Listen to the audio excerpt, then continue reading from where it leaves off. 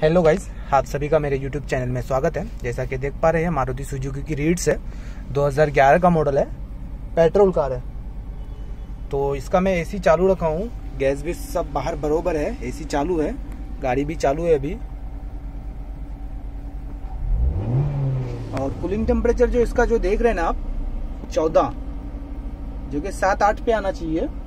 चौदह point five पे आके ट्रिप मार देता है। कभी कभी सोलह पे, चौदह पे।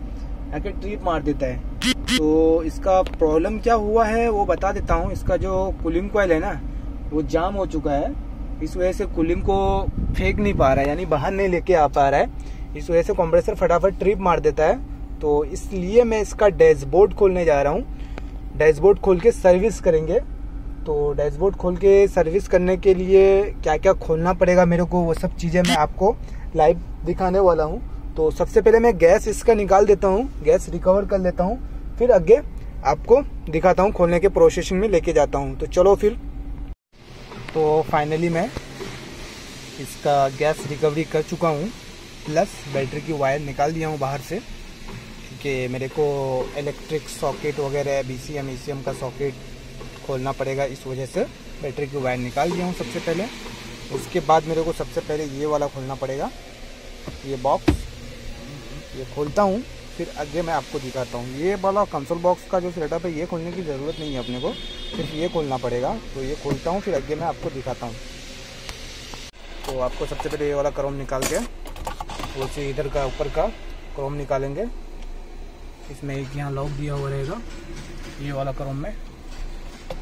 तो उसके बाद खींचेंगे, निकल जाएगा। ये अपना निकल गया। उसके बाद ये स्क्रू एक इधर है, एक दो, एक यहाँ तीन है। और नीचे दो क्लिप रहेगी। एक, दो दो साइड रहेगा। तो ये खोलने के बाद ये इजीली बाहर आ जाएगा अपना। इधर का क्लिप खोला नहीं हो तो खोल के फिर मैं बाहर निकल के आपको दिखाता हूँ। तो फाइनली ये अपना खुल गया। बाहर आ जाएगा ये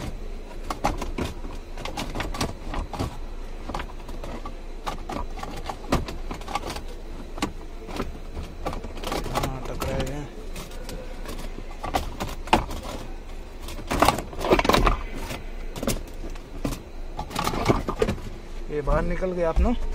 अब बाकी ये सब चीज़ खोलने की ज़रूरत नहीं है, अपने को ये पट्टी खोलना पड़ेगा।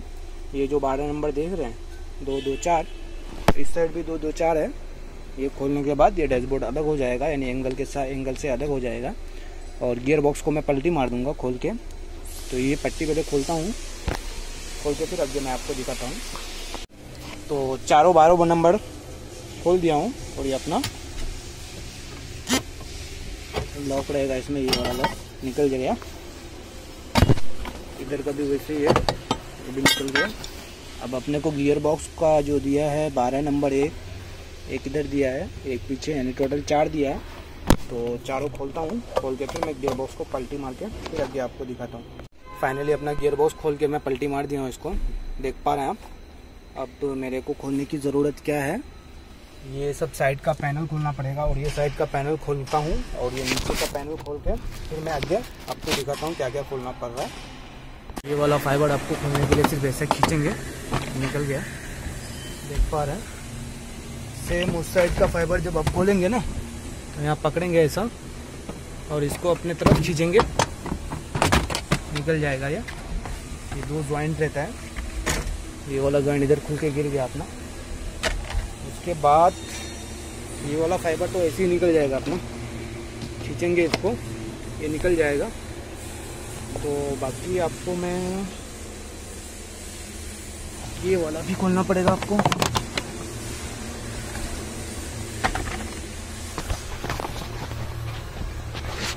उसके बाद फ्लाश ऑन कर देता हूँ। उसके बाद ये वाला। बस बाकी लगभग सब तो खुल चुका अपना और स्टेयरिंग कॉलम और ये दो बटन का जो है, ये डायरेक्शन का और हीटर का केबल का बटन केबल ये जो देख रहे हैं यहाँ खोलना पड़ेगा आपको। और ये वाला। तो ये दोनों खोलता हूँ और कौन सी कौन सी सॉकेट निकालना पड़ा है, वो सब निकाल के मैं फिर मैं आगे आपको दिखाता हूँ। तो लगभग मेरा फाइनली डैशबोर्ड लगभग खुल चुका है। मैं क्या क्या खोला हूँ, वो सब चीज़ें मैं आपको दिखा देता हूँ। तो बाहर से सबसे पहले ये दोनों बारह नंबर खोला हूँ।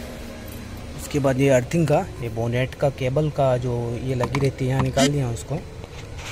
उसके बाद ये सब सॉकेट फ्यूज बॉक्स में से निकाला हूँ। चार सॉकेट पाँच सॉकेट है। ये सब सॉकेट खोलना पड़ा है। उसके बाद ये स्टेयरिंग का यूनिवर्सल जॉइंट स्टेयरिंग को लॉक करके इसको निकाल देने का एक पोजीशन में, ताकि क्योंकि एयर बैग है, ताकि बाद में आपको प्रॉब्लम ना पड़े। उसके बाद ये रही ब्लोर का सॉकेट जो अंदर रहता है बहुत। वो खोलना पड़ेगा। बाकी इस साइड का तो सब खुल चुका है अपना। और यहाँ एक क्लिप रहेगी आपका।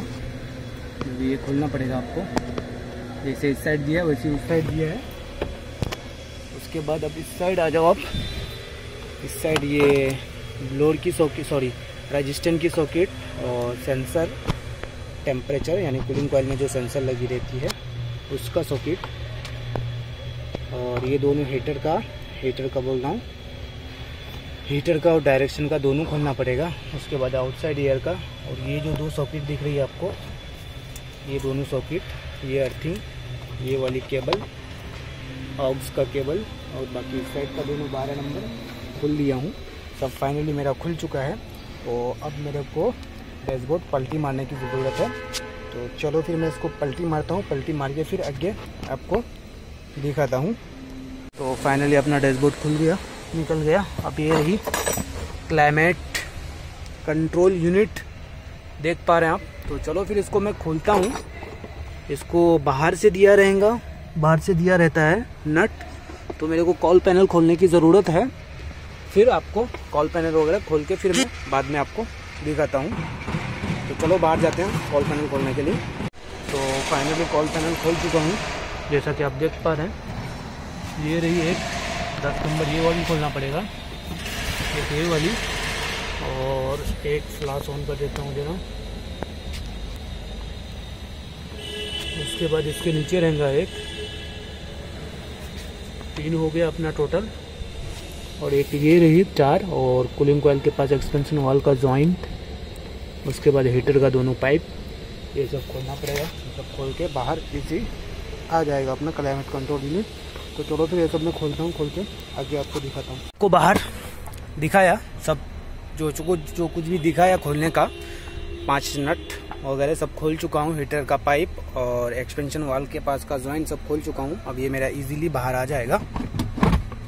देख पा रहे बाहर आ चुका। तो चलो इसको फिर इसको मैं फाइनली बाहर लेता हूँ। बाहर लेकर के फिर आगे आपको दिखाता हूँ। फाइनली मैं इसका ब्लोर मोटर खोल चुका हूँ। ये रही इसका ब्लोर मोटर तो चलो फिर इसका मैं कूलिंग कॉइल निकालता हूँ। निकाल के फिर आगे मैं आपको दिखाता हूँ। देख पा रहे कैसा दिख रहा है। तो चलो फिर मैं इसका कूलिंग कॉइल निकालता हूँ। कूलिंग कॉइल निकाल के फिर आगे आपको दिखाता हूँ। तो फाइनली जैसा कि देख पा रहे पूरा छुट्टा कर दिया हूँ मैं। लेकिन बट इसका कूलिंग कॉइल देख पा रहे हैं क्लीन है बिल्कुल। कूलिंग कॉइल में कुछ भी फॉल्ट नहीं है। इसका फॉल्ट किसमें है? ये वाली जो हीटर का जो फ्लैप देख रहे हैं ना ये बीच में आके अटका हुआ था, इस वजह से कूलिंग मिक्स हो रहा था। हीटर और कूलिंग दोनों मिक्स हो रहा था, इस वजह से कूलिंग नहीं हो रही थी। तो चलो मैं मेरे को सेटिंग सिर्फ़ इसी को ही करना है, बाकी किसी को करना नहीं है तो इसको सेटिंग करके प्रॉपर फिर मैं फिटिंग करता हूँ।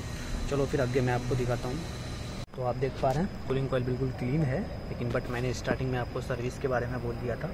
सर्विस इसलिए बोला था क्योंकि हवा का फ्लो भी ज़रा कम हो रहा था, क्योंकि ये मिक्स हो रहा था ना, इसकी वजह से एयर का फ्लो कम आ रहा था। इस वजह से मैं सर्विस के बारे में आपको बोला था। तो मेरे को ये सब क्लीन करना पड़ेगा। ये सब क्लीन करके पेट्रोल से क्लीन करके फिर मैं आगे आपको दिखाता हूँ। तो फाइनली मैं इसको फ्री कर दिया हूँ। जैसा कि आप देख पा रहे हैं ग्रीस वगैरह लगा दिया हूँ। तो चलो फिर मैं इसको फिटिंग करता हूँ। सब फिटिंग करके फिर आगे आपको दिखाता हूँ। तो फाइनली फिट हो चुका, जैसा कि आप देख पा रहे हैं। तो चलो फिर मैं गाड़ी में फिटिंग करके आगे आपको दिखाता हूँ। तो फाइनली मैं क्लाइमेट कंट्रोल यूनिट बैठा दिया हूँ। अब मेरे को डैशबोर्ड डालने का है। तो चलो फिर मैं डैशबोर्ड बाहर से जो जो दस नंबर नट दिया था, सब फिट कर दिया हूँ। अब डैशबोर्ड डाल के फिर आगे मैं आपको दिखाता हूँ। तो फाइनली डैशबोर्ड डाल चुका हूँ, जैसा कि आप देख पा रहे हैं। तो चलो फिर ये सब कुछ मैं फिटिंग करता हूँ फिटिंग करके फिर आके आपको दिखाता हूँ, सब खुला पड़ा है। तो सब फिटिंग करता हूँ। फिटिंग करने के बाद फिर मैं आपको आगे दिखाता हूँ। चलो फिटिंग करने के लिए लग जाता हूँ। तो फाइनली देख रहे हैं आप, पूरी डैशबोर्ड फिट हो चुकी है अपनी। देख पा रहे हैं, पूरी डैशबोर्ड फिट कर चुका हूँ और मैं इसको बैटरी का वायर भी लगा चुका हूँ। अब मैं इसको वैक्यूम में लगाने जा रहा हूँ फ़र्स्ट ऑफ़ ऑल क्योंकि लीक टेस्ट करना है नहीं, क्योंकि लीक टेस्ट के लिए कुछ तो था नहीं इसमें। तो इस वजह से मैं इसका सबसे पहले वैक्यूम में लगा दिया हूँ या लगा सॉरी लगाने जा रहा हूँ तो वो चीज़ें मैं आपको दिखा देता हूँ तो चलो बाहर चलते हैं।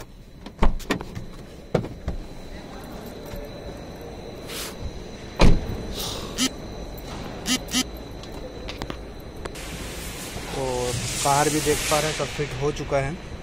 और लो, हाई दोनों लगा के रखा हूँ। और मशीन लगी हुई इधर। दस मिनट के लिए वैक्यूम ले ले रहा हूँ। तो चलो फिर दस मिनट बाद अपन मिलते हैं। सब बाहर का सब हीटर वगैरह सब फिट हो चुका है। कॉल पैनल वगैरह वाइपर वगैरह सब फिट हो चुका है। तो चलो फिर मैं गैस चार्जिंग वगैरह आगे करके फिर दिखाता हूँ आपको। तो अपना फाइनली वैक्यूम तो कंप्लीट हो चुका है। देख पा रहे हैं वैक्यूम कंप्लीट हो गया अब मैं इसको गैस चार्जिंग को ले लेता हूँ।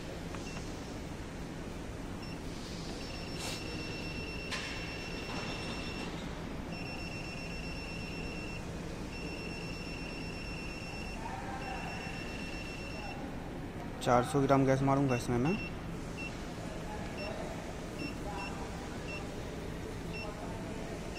गैस मारने से पहले ऑयल मार देता हूँ थोड़ा सा। गैस फिल हो चुका। और एक भाई, ये बटन के बारे में कमेंट किया था कि ये बटन काहे का है? तो ये बटन है अपना, जैसे क्लाइमेट अगर ठंडी वगैरह रहती है ना तो सिलेंडर के अंदर मशीन के अंदर गैस जो एक जगह जमा हो जाता है, यानी लिक्विड फॉर्म में सिलेंडर में रहता है तो उसको ये बटन ऑन करके हीटिंग दिया जाता है। हीटिंग देने के बाद ही ये गैस को लिक्विड फॉर्म को गैस फॉर्म में चेंज करता है। तो चलो फिर अंदर गाड़ी चालू करते हैं। गाड़ी चालू करके कूलिंग टेम्परेचर वगैरह चेक करते हैं, कितना कूलिंग टेम्परेचर आ रहा है, नहीं आ रहा है। तो चलो फिर अंदर गाड़ी चालू करके कूलिंग टेम्परेचर मैं आपको दिखाता हूँ। तो हेलो दोस्तों, आप जैसा कि देख रहे हैं फाइनली मैं गाड़ी के अंदर आ चुका हूँ और गाड़ी अपनी अभी चालू है। एसी चालू रखा हूँ कूलिंग टेम्परेचर देख लीजिए आप। 8.3 8.4 ट्रिप मार चुका है अभी कॉम्प्रेसर लगभग सात तक आएगा इसका कूलिंग जो कि मैंने पहले आपको बता दिया था कि सात छः सात तक कूलिंग टेम्परेचर आएगा इसका।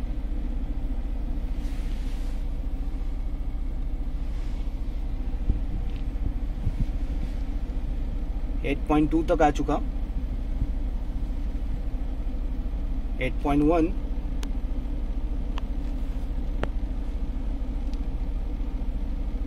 जो कि पहले कूलिंग टेम्परेचर इसका कितना आ रहा था?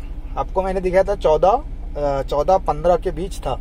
उससे नीचे कूलिंग आ ही नहीं रहा था। क्यों नहीं आ रहा था? क्योंकि इसका जो है ना हीटर का जो फ्लैप है ना, आधा पूरा पूरा बंद नहीं होता था। यानी कूलिंग पे अपन जब लेते हैं ना इसको तो यहाँ आकर के पूरा फ्लैप जो जाकर के बंद हो जाना चाहिए प्रॉपर तरीके से बंद नहीं हो रहा था। इस वजह से हीटर और कूलिंग दोनों मिक्स हो रहा था। इस वजह से कूलिंग नहीं आ रही थी। तो मैंने आपको दिखाया अभी लाइव करके कि क्या हो रहा था। तो ये सब चीज़ें मैं आपको इसलिए दिखा रहा हूँ ताकि चीज़ें आपको समझ में आए। बस बाकी और कुछ नहीं। तो हेलो दोस्तों, आप मेरे चैनल में अगर नए हैं ना तो प्लीज़ लाइक कमेंट सब्सक्राइब करके एक थोड़ा सा सपोर्ट दें। ताकि मैं और भी अच्छी तरीके से आगे नेक्स्ट वीडियो जो बनाऊँ, अच्छी तरीके से बनाने की कोशिश करूँ। तो चलो फिर जब तक के लिए बाय बाय टेक केयर अल्लाह हाफिज़।